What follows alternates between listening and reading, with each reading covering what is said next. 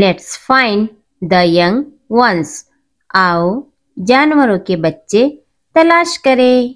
Listen and repeat सुनो और दोहराओ। Dog puppy puppy यानी पिल्ला।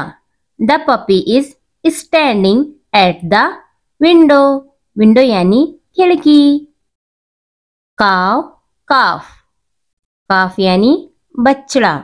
The calf is sitting on the grass grass यानी घास.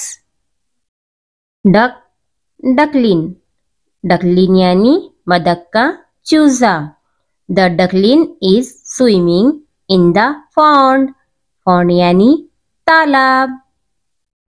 कैट किटन किटन यानी बलूंगड़ा the kitten is sleeping under the table hen chick chick यानी चूजा the chick is hopping over the basket basket यानी टोकरी deer fawn fawn यानी हनुटा the fawn is behind the tree lion cub cub यानी शेर का बच्चा The cub is playing near the den.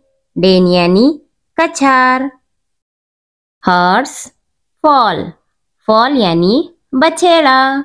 The fall is standing in front of the stable. Sheep lamb. Lamb yani barra.